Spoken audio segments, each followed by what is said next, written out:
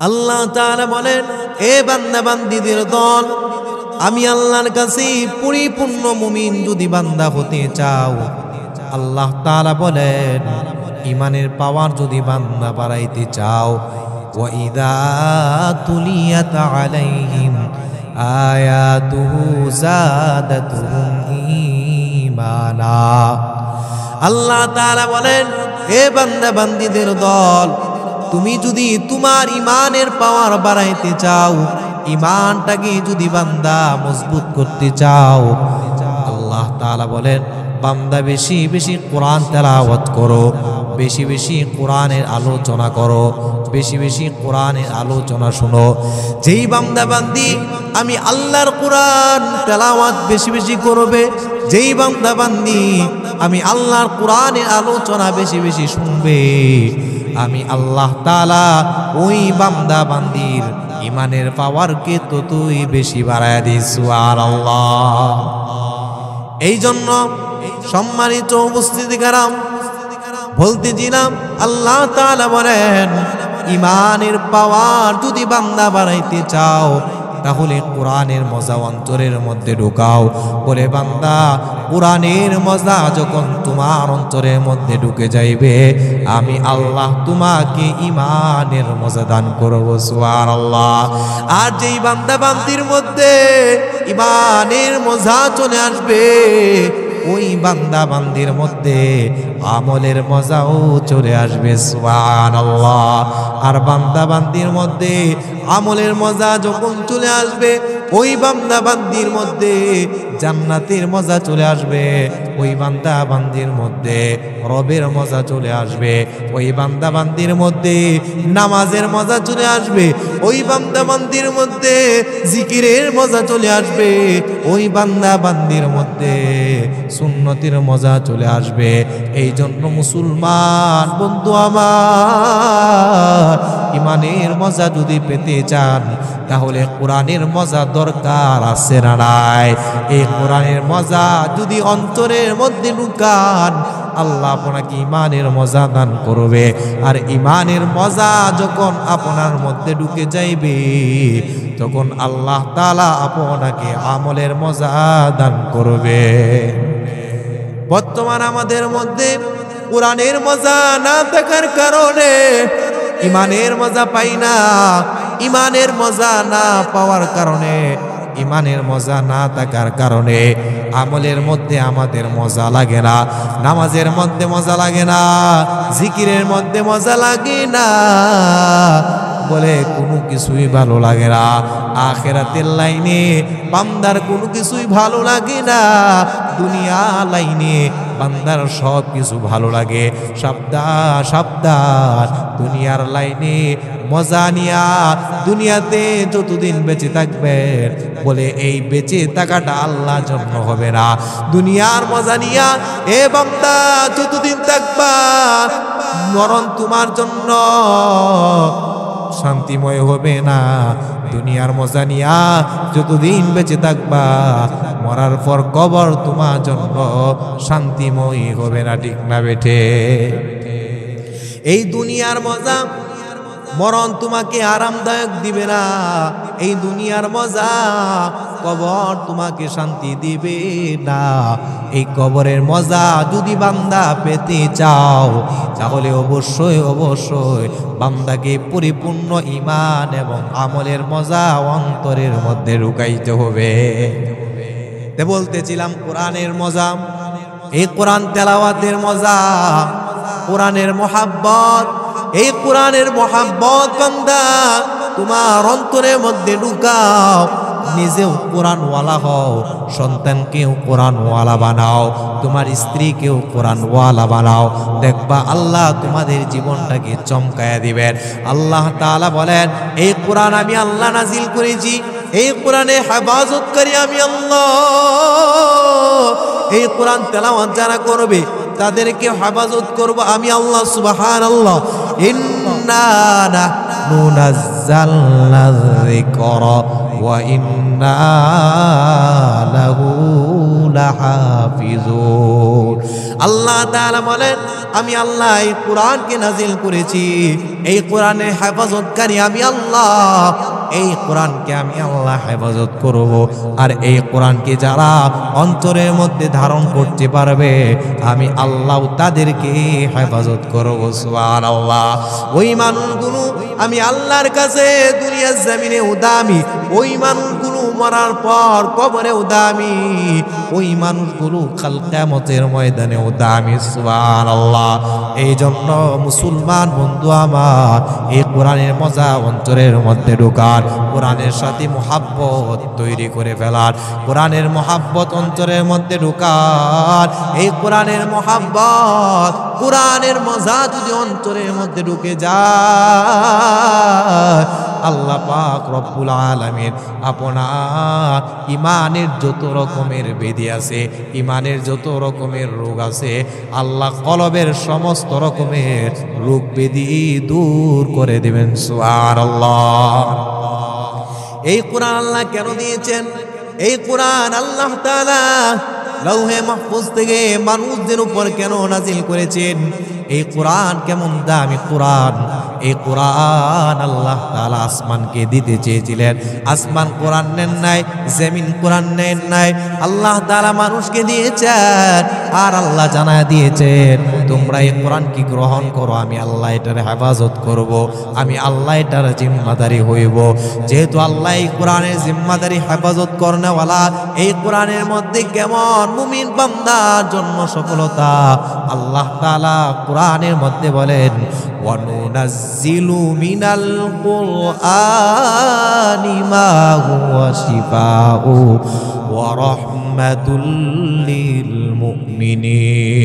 আল্লাহ বলেন, আমি আল্লাহ কোরআন নাজিল করেছি। মুমিন বান্দা বান্দির জন্য শিফা। এই কোরআনের মধ্যে মুমিন বান্দা বান্দিদের জন্য শিফা আছে। বলে, কিসের শিফা? মুমিন বান্দা বান্দি, এই কোরআন থেকে ইমানের চিকিৎসা নিবে। মুমিন বান্দা বান্দি, এই কোরআন থেকে তার কলবের চিকিৎসা নিবে। বলে, মুমিন বান্দা বান্দির ইমান যখন দুর্বল হয়ে যায় এই কোরআনের তেলাওয়াত যখন বান্দা করবে, এই কোরআনের মহাব্বত বান্দা তখন লাগাইবে, আমি আল্লাহ তালা এই কোরআনের মহাব্বতের বিনিময় এই মুমিন বান্দা বান্দির কলবে রূপ দূর করে দেব। এই জন্য যুবক ভাই, বৃদ্ধ বাবা বলতেছিলাম, আল্লাহ তাআলা বলেন, এই কোরআনকে তোমার অন্তরের মধ্যে ঢুকাও। এই কোরআনের সাথে সম্পর্ক গভীর করো। আল্লাহ বলেন, আমি আল্লাহর কোরআন কেমন দামি কোরআন, এই কোরআনের মধ্যে কোনো ভুল নাই। আসেনি কোনো ভুল। এই কোরআনের মধ্যে কোনো ভুল নাই। এই কোরআনের মধ্যে কোনো সন্দেহ নাই। এই কোরআন কেমন কোরআন? আল্লাহ তাআলা কোরআন নাজিল করার পর কোরআনের পারা যেখান থেকে শুরু হয়েছে, আল্লাহ তাআলা এই কোরআনের শুরুতে যে সুরাটা নাজিল করেছেন, এই সূরার নাম হলো সুরাতুল বাকারা। এই সুরা বাকারা প্রথম নাজিল হয় নাই। তারপরেও কেন আল্লাহ কোরআনের শুরু দিয়ে এই সূরাটা আল্লাহ দিয়েছেন? বলে এটার দেওয়া অর্থ হলো, আল্লাহ তাআলা বলেন, দুনিয়ার মানুষকে আমি আলান করে জানায় দিলাম। বলে আমি আল্লাহর কোরআনটা কেমন কোরআন? আমি আল্লাহর কোরআনটা কেমন বেজাল মুক্ত? আল্লাহ তাআলা বলেন, যালিকাল কিতাবুলা রাইবা فيه هدى للمتقين আল্লাহ তাআলা বলেন, এটা এমন একটা কোরআন, যেই কিতাবের মধ্যে যে কোরআনের মধ্যে কোনো ভুল নাই। যে কোরআনের মধ্যে কোনো সন্দেহ নাই, বলে এই কোরআন হলো মুত্তাকি বান্দা বান্দির জন্য হেদায়াত। এই কোরআন কি যারা অন্তরের মধ্যে ঢুকাইবে? এই কোরআনের মোহাম্মত যাদের অন্তরে থাকবে? আমি আল্লাহ তারা তাদেরকে হেদায়তের নূর দান করব, সুবহানাল্লাহ। এই কোরআনের সাথে মানুষের সম্পর্ক যদি হয়, আল্লাহ মানুষের সম্মান বাড়ায় দেন। এই কোরআনের সাথে কাপড়ের সম্পর্ক যদি হয়, আল্লাহ কাপড়ের সম্মান বাড়া দেন। এই কোরআনের সাথে কাঠের সম্পর্ক যদি হয় আল্লাহ কাতের সম্মান বাড়ায় দেন? এই কোরআনের সাথে যার সম্পর্ক হয়, আল্লাহ তার সম্মান বাড়ায় দেয় সুবার আল্লাহ এই জন্য যুবক ভাই, বৃদ্ধ বাবা, এখানে যারা আমরা উপস্থিত আছি, অনেকে কোরআন পড়তে জানি না, কোরআন ভালোভাবে বুঝি না, কোরআনের মোহাব্বত আমাদের অন্তরে আছে। তাহলে হুজুর কি করা যায়? এই মেয়েটা তো এমন কোরআন যে কোরআন না বুঝলে, না পড়তে পারলেও কোরআনকে বুকে লাগাইলে সব আছে না নাই? এই কোরআনকে বুকে লাগাইবেন, সব পাওয়া যাইবে। এই কোরআনকে কপালে লাগাইবেন, সব পাওয়া যাইবে। এই কোরআনকে আপনি অন্তর দ্বারা মোহাব্বত করবেন। এই কোরআনকে চোখের মধ্যে লাগাইবেন, এই কোরআনকে টুঠের মধ্যে লাগাইবেন। বলে, এই কোরআনকে যতই মোহাব্বত করবেন, আল্লাহ এই কোরআনের মহাব্বতের বিনিময়। আপনাকে দুনিয়া এবং আখেরাতে উত্তম প্রতিদান দান করবে সুবহান আল্লাহ এই জন্য কোরআন মহাব্বত করার দরকার আছে না নাই? আজকে আমাদের ঘরে অশান্তি, শান্তি নাই। ছেলে সন্তান কথা শুনে না, স্ত্রী কথা শুনে না বলে, অশান্তি আর অশান্তি অশান্তি হওয়ার মূল কারণ হলো আমাদের ঘরের মধ্যে কোরআনের শিক্ষার কোনো ব্যবস্থা নাই। আমার ছেলে মেয়ে দুনিয়ার জাগতিক শিক্ষায় শিক্ষিত হইল, কিন্তু আমার ছেলে মেয়ে এই ধর্মীয় শিক্ষা, কোরআনের শিক্ষা ঢুকাইতে পারে না আমরা মনে করি, দুনিয়া জাগতিক শিক্ষায় শিক্ষিত হইয়া দুনিয়াতে অনেক বড় হওয়া যায়। আল্লাহ বলে দুনিয়া জাগতিক শিক্ষার মাধ্যমে আল্লাহর দৃষ্টিতে বান্দা কোনোদিন বড় হতে পারে না, ঠিক না বেঠে? আল্লাহ নবী বলেন, খৈরুকুম মান তাআল্লামাল কুরআন ওয়া আল্লামা আল্লাহর কাছে ওই মানুষটাই সবচেয়ে দামি মানুষ।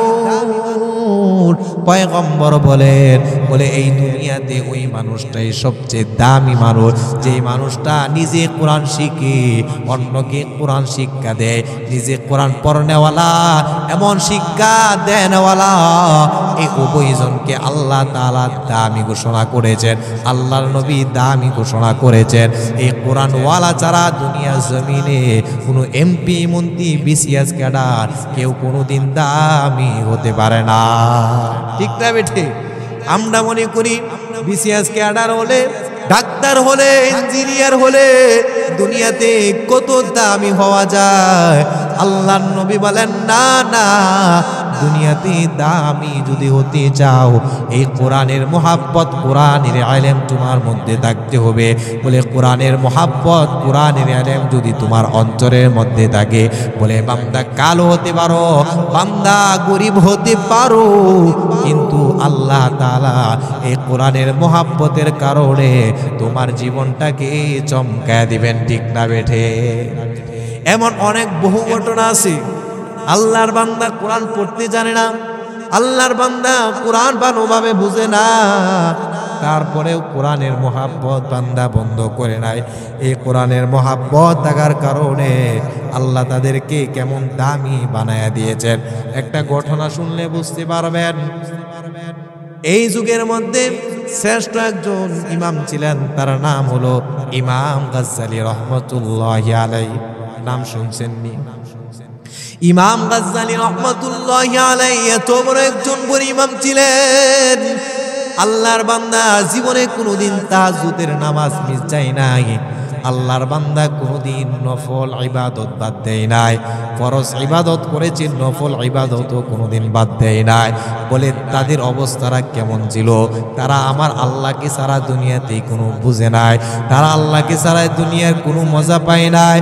তারা মজা পাইছে আল্লাহর জিকির, আল্লাহর ইবাদতের মাধ্যমে। ইমাম গাজ্জালি রহমতুল্লাহ আলাইহির জমানার একটা ঘটনা।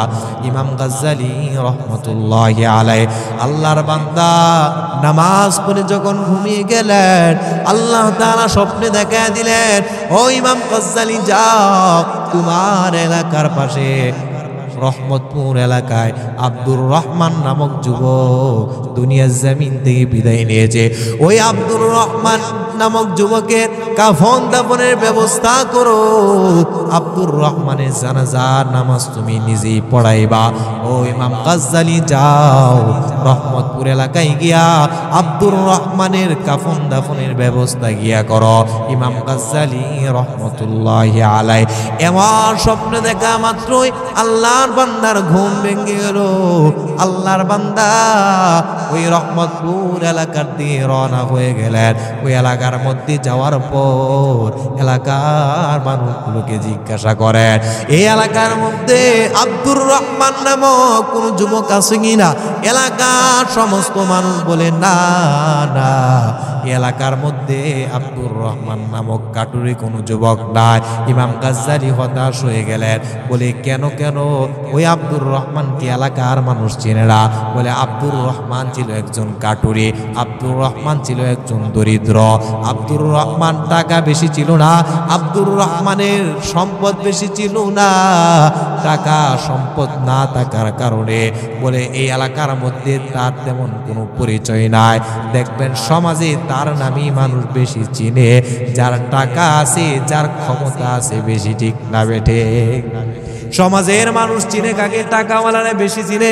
সমাজের মানুষ চিনে যার ক্ষমতা বেশি আছে। আর যে মানুষটা করি বই মানুষকে এলাকার কেউ চিনি না। ঠিক তেমন ভাবে আব্দুর রহমান কেউ এলাকার কেউ চিনত না। আব্দুর রহমান আল্লাহর বান্দা দরিদ্র। সারাদিন খাট সংরক্ষণ করে জীবন যাপন করেছে। কিন্তু আব্দুর রহমানের মাকাম আল্লাহ কেন এত বড় বাড়ায় দিলেন? যখন ইমাম গাজ্জালি সমস্ত এলাকার মধ্যে খুঁজলেন আব্দুর রহমানকে খুঁজে পাওয়া যায় না।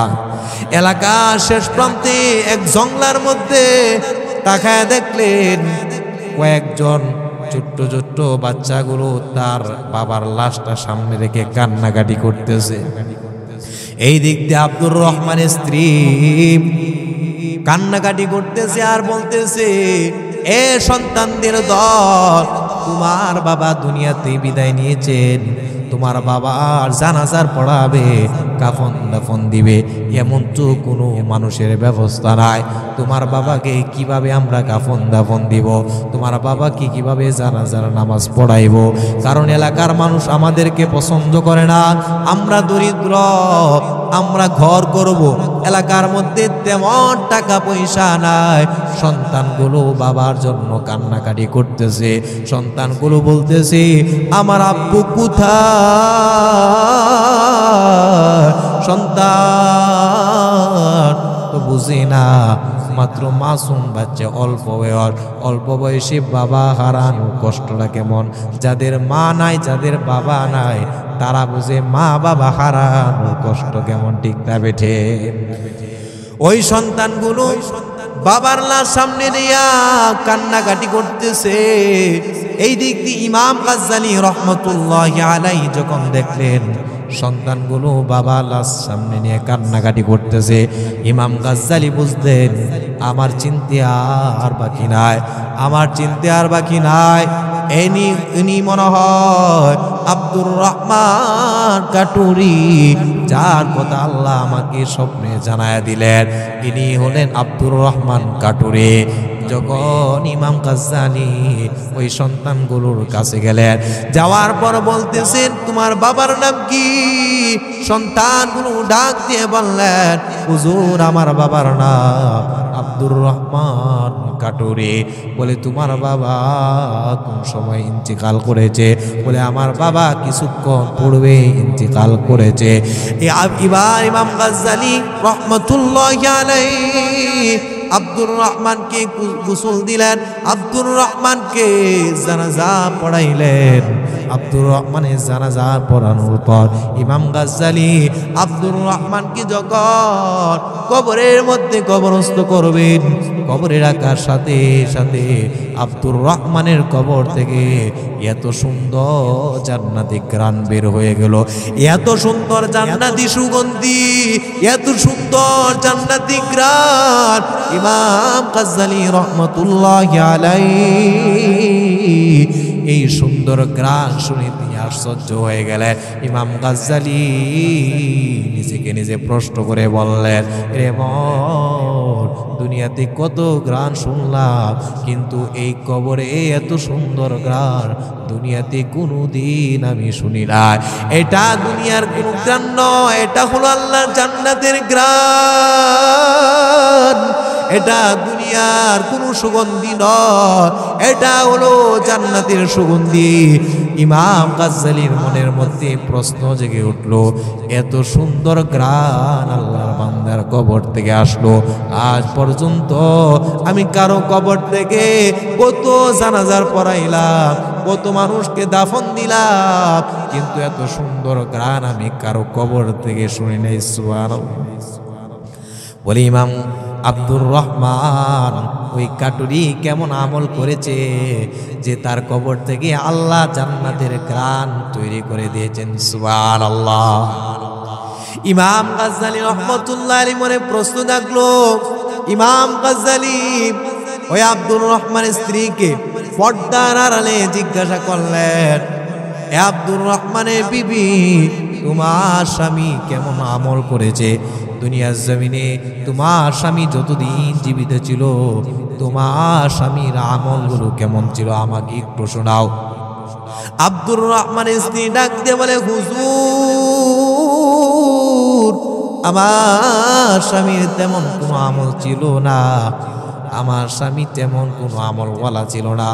আমার স্বামী একজন সাধারণ কাটুরি, সারাদিন কাজ সংরক্ষণ করে আমাদের জীবন যেমন চলতো, তবে আমার স্বামীর একটা বিশেষ আমল ছিল, বিশেষ আমল ছিল। আমার স্বামীর বিশেষ আমলটা হলো, আমার স্বামী একজন আলেমের জবান থেকে একটা নসিহত শুনেছিলেন। এই কথাটা হলো, যারা কোরআন পারেন না যারা কোরআন বুঝেন না, এই কোরআনকে প্রত্যেক দিন কপাল এবং বুকের মধ্যে লাগাইবেন। এই কোরআনের মহাব্বত আল্লাহ পরা অঞ্চলের মধ্যে ঢুকায় দিবে। আমার স্বামী যদি যেদিন থেকে শুনলেন এই কোরআন অন্তরের মধ্যে জায়গা করতে পারলে, এই কোরআন মানুষকে দামি বানায়া দেন। আমার স্বামী সেই দিন থেকে বাজার থেকে একটা কাপড় সংরক্ষণ করলেন। এত সুন্দর করে একটা কোরআন শরীফ সংরক্ষণ করলেন। এই কাপড়টাকে গিলাপ বানাইয়া এই কোরআনটা এই গিলাপের মধ্যে প্রতিদিন রাখতেন। আমার স্বামীর আমল ছিল যখন সকালবেলা আমার স্বামী দুনিয়ার কাছে বের হইতেন, এই কোরআনটা কোরআনের থাক থেকে নিয়া বুকের মধ্যে লাগাইতে। এই কোরআনটা আমার স্বামীর কপালের মধ্যে লাগাইতে।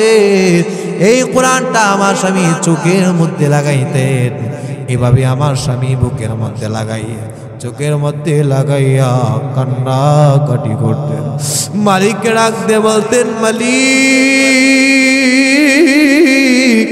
তোমার কোরআন পড়তে জানি না। তোমার কোরআন বুঝি না। মালিক গো, আমাকে তুমি কোরআন ওয়ালা হিসাবে কবুল করো। এ মালিক, তুমি আমাকে কোরআনের ওয়ালি হিসাবে কবুল করো। এ মালিক, তুমি আমাকে আমার অন্তরের মধ্যে কোরআনের মজা দিয়ে দাও। কোরআনের মজা আমার অন্তরের মধ্যে দিয়ে দাও। মালিক গো, তোমার কোরআনের মজা এত মজা, এত মজা। যতই আমি আমার বুকের মধ্যে লাগাই, চোখের মধ্যে লাগাই, আমার বুক কলিজা ঠান্ডা হয়ে যায়। সকালবেলা আমার স্বামী কোরআনকে মহাব্বত করে দুনিয়ার কাছে বের হইতেন। আবার সন্ধ্যাবেলা যখন আমার স্বামী বাড়ির মধ্যে আসতেন, সন্ধ্যাবেলা বাড়িতে আসার পর অজু করে সর্বপ্রথম কোরআনটা বুকের মধ্যে লাগাইতেন। ডাক দিয়ে বলতেন, মালিক, দুনিয়ার কত কাজ করলাম, সারাদিন দুনিয়ার কাজ করলাম, দুনিয়ার কাজের মধ্যে কোনো মজা পাইলাম না রে মালিক। এ মালিক, তোমার কোরআন যখন আমার বুকের মধ্যে লাগায়, এত মজা এত মজা, এই মজা আমি কোনোদিন বলতে পারি না। এই মজা আমি ভুলতে পারি না মালিক। এই মজা আমাকে মরণের পর দিও। এই কোরআন বুকে লাগাইয়া বলতেন, আল্লাহ এই কোরআনের মজা মরার পর কবরের মধ্যে দিও। এই আমলগুলো আমার স্বামী করতেন। ইমাম গাজ্জালি রহমতুল্লাহ আলী বুঝতে আর বাকি নাই। আল্লাহ কোরআনের সম্মানে আব্দুর রহমান কাটুরিকে এভাবে সম্মানিত করেছেন। আব্দুর রহমান কাটুরি তার বংশে কোনো কেরামতি ছিল না। আব্দুর রহমান কাটুরির তার পরিবারের কোনো কেরামতি ছিল না, তার সম্পদের কোনো কেরামতি ছিল না। তার ক্ষমতার কোনো কেরামতি ছিল না। এই কেরামতি ছিল একমাত্র আল্লাহর কোরআনের মহাব্বতের কারণ। ঠিক না বেঠে এই কোরআনের মহাব্বত আব্দুর রহমান ঢুকাইছে। আল্লাহ তারা একজন সাধারণ কাটুরিকে তার জীবনটা চমকাই দিয়েছেন সুবাহ এই জন্য বলতেছিলাম, যুবক ভাই, কোরআনের মহাব্বত অন্তরের মধ্যে ঢুকান। কোরআনকে মহাব্বত করুন। আল্লাহ আপনার জীবনকে চমকায় দিবে। আজকে আমাদের ঘরে মধ্যে কোরআনের শিক্ষা নাই। এই কোরআনের শিক্ষা না থাকার কারণে আজকে আমাদের ছেলে মেয়ে আমাদের সাথে উত্তম আচরণ করে না। আমাদের মুখের সাথে মুখ কথা বলে আমাদের স্ত্রীগুলো আমাদের সাথে ভালো আচরণ করে না। কারণ হলো তার মধ্যে কোরআনের মহাব্বত নাই, কোরআনের ভালোবাসা নাই। কোরআনের ভালোবাসা যদি তাদের মধ্যে থাকতো, তাহলে তারা কোনোদিন আপনার সাথে বেয়াদবি করতো না। তারা আপনার সাথে কথা বললে চিন্তা করে কথা বলতো, কারণ তাদের বুকের মধ্যে থাকবে কোরআনের মহাব্বত। কিসের মহাব্বত? তাদের বুকের মধ্যে কোরআনের মহাব্বত যখন থাকতো তখন তারা কথা বললেও চিন্তা করতো আরে আমি যে জবান দিয়া আমার স্বামীর সাথে আমি বেয়াদবি করতেছি, এই জবান দিয়ে তো আমি আল্লাহ কোরআন তেলাওয়াত করে, ঠিক না এই জন্য ভাই, ইমানের পাওয়ার কি দিয়া বাড়ে? ইমানের পাওয়ার বাড়বে কোরআনের তেলাওয়াত দিয়ে। কি দিয়া? কোরআনের তেলাওয়াত দিয়ে। করব তো ইনশাল্লাহ কোরআনের তেলাওয়াত বেশি বেশি করব, এ কোরআনের তেলাওয়াত যদি বেশি বেশি করতে পারি আল্লাহ বলেন, আমি আল্লাহ ওই বান্দা বান্দির ইমানের পাওয়ার বাড়া দিও, সুবহানাল্লাহ। এটা হলো মুমিন বান্দার দুই নাম্বার গুণ, দুই নাম্বার আলামত। মুমিন বান্দা সফল হওয়ার জন্য কোরআন তেলাওয়াত দরকার। এটা হলো মুমিন বান্দা বান্দির দুই নাম্বার আলামত। মুমিন বান্দা বান্দির তিন নাম্বার আলামত। আল্লাহ তাআলা বলেন ওয়ালা ربهم يتوكلون. আল্লাহ তাআলা বলেন, মুমিন বান্দা ইমানের তিন নাম্বার আলামত হলো, এই বান্দা বান্দি যতদিন দুনিয়াতে বাঁচবে, ততদিন দুনিয়াতে থাকবে। ওই বান্দা বান্দি কেবলমাত্র আল্লাহর উপর ভরসা করবে, কার উপর? ওই বান্দা বান্দি আল্লাহর উপর ভরসা করবে, ওই বান্দা বান্দি দুনিয়ার কোনো মানুষের উপর ভরসা করবে না। বলে, হুজুর, কেমন বিপদে পড়বে, সাহায্য চাইবে কার কাছে? এজরে বলে কার কাছে? ওই বান্দা বান্দি যতই বড় বিপদে পড়ুক না কেন, ওই বান্দা বান্দি দুনিয়ার কারও কাছে সাহায্য চাইবে না। ওই বান্দা বান্দি আল্লাহর কাছে সাহায্য চাইবে। আল্লাহর কাছে সাহায্য চাওয়ার মাধ্যম আছে না নাই? জুড়ে বলি, আছে না নাই? আল্লাহ তাআলা বলেন, ইমানদার বান্দা বান্দিরা যখন বিপদের সম্মুখীন হয়ে যায়, আমি আল্লাহ তাআলা শিখায় দিলাম তারা আমি আল্লাহর কাছে কীভাবে সাহায্য প্রার্থনা করবে?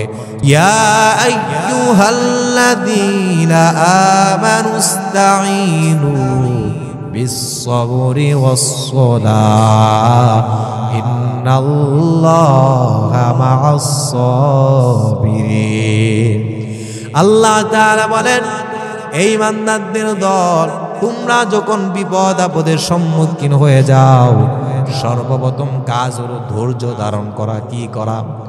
ধৈর্য ধারণ করা।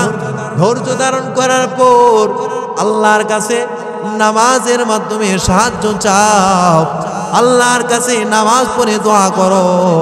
কারণ নামাজ যখন বান্দা পড়ে, নামাজ পড়া মানে হলো বান্দা আল্লাহর সাথে সাক্ষাৎ করে আল্লাহ ইমানদার বান্দা বান্দি যখন নামাজ পড়ে, সাক্ষাৎ হয় কার সাথে? জোরে বলি, কার সাথে? আল্লাহর সাথে বান্দা বান্দির যখন সাক্ষাৎ হয়, এই সাক্ষাতের মধ্যে বান্দা আল্লাহর কাছে যা চাইবে, আল্লাহ বলেন, আমি আল্লাহ বান্দার চাওয়া পাওয়া পূরণ করে দে। এই জন্য মুসলমান, বন্ধু আমার, বিপদে পড়ার পর ধৈর্য ধারণ করতে হবে। ধৈর্য হারা হওয়া যাবে না। নামাজের মাধ্যমে সাহায্য চাইতে হবে। এই নামাজের মাধ্যমে সাহায্য চাইলে লাভ আছে না নাই? আছে না নাই? কেমন সাহায্য? একজন সাহাবীর ইতিহাসের দিকে দেখায় দেখেন আল্লাহ নবীর কন্যা হজরত উম্মে কুলসুম রাদিয়াল্লাহু তাআলা আনহার। তার স্বামী ছিল হজরত আব্দুর রহমান রাদিয়াল্লাহু তাআলা আনহু।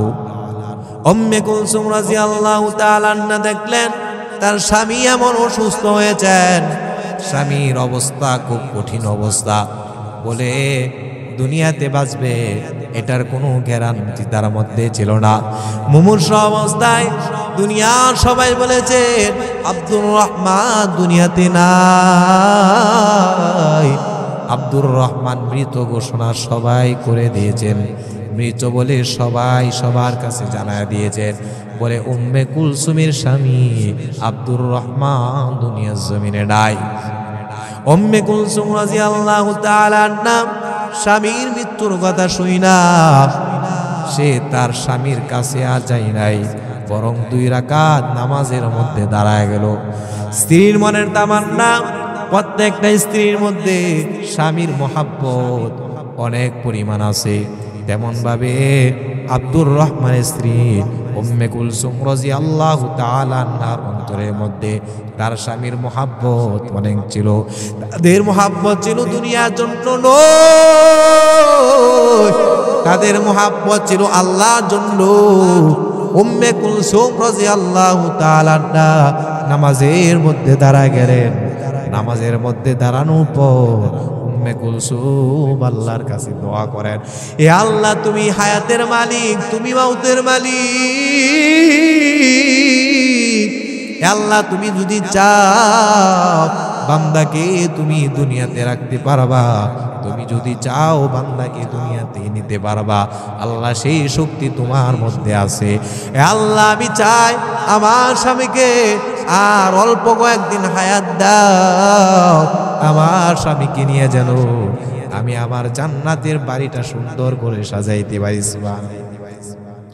আর আমরা হলে আল্লাহর কাছে দোয়া করতাম, আল্লাহ স্বামীকে হায়াত দাও, স্বামীকে নিয়ে দুনিয়াতে কিছু আনন্দ ভর্তি করি, ঠিক না বেটে কিন্তু উম্মে রাজি আল্লাহ তাআলা আল্লাহর কাছে দোয়া করে, হে মালিক, আমার স্বামীকে আর অল্প সময় হায়াত দাও। আমি আমার স্বামীকে নিয়া জান্নাতের বাড়িটা যেন সুন্দর করে সাজাইতে পারি। আল্লাহ তার দোয়া কবুল করে নিলেন। উম্মে কুলসুম রাদিয়াল্লাহু তাআলা আন্না যখন নামাজ শেষ করে স্বামীর পাশে গেলেন স্বামীর পাশে যাওয়া মাত্রই আব্দুর রহমান আল্লাহ তাআলা আল্লাহর দেওয়া হায়াত পাইয়া পুনরায় জীবিত হয়ে গেলে ওম্মে কুলসুম রাজি আল্লাহ আনহার অন্তরের মধ্যে এই বিশ্বাস ছিল। আল্লাহর কাছে দোয়া করলে আল্লাহ অবশ্যই দিবেন। আল্লাহ ওয়াদা করেছেন, বান্দা যখন নামাজের মাধ্যমে আমি আল্লাহর কাছে সাহায্য চাই, আমি আল্লাহ বান্দাকে কোনোদিন কালি হাতে ফেরা দেই নাই। আমি আল্লাহ অবশ্যই অবশ্যই বান্দার চাওয়া পাওয়া নামাজের মাধ্যমে পূরণ করব সুয়ার আল্লাহ গিয়া দেখেন, আল্লাহ তাআলা তাকে পরিপূর্ণ সুস্থ নিয়ামত দিয়েছেন, সুস্থ করে দিয়েছেন। আব্দুর রহমান রাজি আল্লাহ তাআলা আর সহ্য হয়ে গেলেন। এ উম্মে কুলসুম, তুমি আমাকে কেমন ট্যাবলেট খাওয়াইছো? কেমন ওষুধ তুমি আমাকে সেবন করেছ? যে ওষুধ দিয়া আমি জীবিত হয়ে গিয়েছি, যে ওষুধ খাইয়া আমি মুহূর্তের মধ্যে সুস্থ হয়ে গিয়েছি। উম্মে কুলসুম ডাক দিয়ে বলে, ও স্বামী আমার এই ওষুধ দুনিয়ার কোনো ওষুধ নয়। এই ওষুধ হলো আল্লাহর দেওয়া ওষুধ আল্লাহর দেওয়া ওষুধ তুমি পাওয়ার পর আল্লাহ তোমাকে পরিপূর্ণ সুস্থতা বানায় দিয়েছেন সুয়ার আল্লাহ এই জন্য বলতেছিলাম, যুবক ভাই, বিপদ আপদ যতই বিপদ হোক না কেন, আমরা আল্লাহর কাছে সাহায্য চাইব, ধৈর্য ধারণ করব। সমাজের মধ্যে বিপদ পড়লে আমরা চেয়ারম্যানের দরবারে দৌড়াই মেম্বরের দরবারে দৌড়াই এমুক মাতব্বরের দরবারে দৌড়ায়, জেলখানার মধ্যে দৌড়ায়, থানার মধ্যে দৌড়ায়, মামলা করার জন্য। কিন্তু যারা আল্লাহওয়ালা, যারা বুজুর্গ, তারা দুনিয়ার কোনো আদালতের মধ্যে বিচার দেয় না। তারা বিচার দেয় কেবলমাত্র আল্লাহর আদালতের মধ্যে। এই জন্য আল্লাহ তালা বলেন, আমি আল্লাহর উপর যারা বিশ্বাস রেখে, আমি আল্লাহর উপর যারা ভরসা করবে, আল্লাহ বলেন আমি আল্লাহ তাআলা তাদের জন্য যথেষ্ট হয়ে যায়। আমি আল্লাহ তালা তাদের জন্য জিম্মাদারি হয়ে যায়। বলে আমি আল্লাহর উপর যখন কোনো বান্দা বান্দি ভরসা করবে, আমি আল্লাহ তাআলা তার জীবনের সমস্ত চাওয়া পাওয়া পূরণ করে দে। ইয়া এলাহি তু মেরা یا الہی تو میرا معشوق غی یا الہی تو میرا غفار غی یا الہی تو میرا رحمان غی یا الہی مجھ سے مجھ کو دور کر ताकि देखो मुझ में तुझको एक नजर हकीकत से तो दुनिया बेखबर है दुनिया की नुमाइश पर नजर गई नमी گویم که از دنیا جدا بار بغر کار کباشی با خدا بار چسته دنیا از خدا غافل بودا نیکو باشو نقره پر زندوزار এই জন্য ভাই বলতেছিলাম, আল্লাহ তালার প্রতি পরিপূর্ণ আস্থা বিশ্বাস রাখতে হবে। আল্লাহর উপর আস্থা রেখে আল্লাহ কাছে সাহায্য চাইবে। আল্লাহ অবশ্যই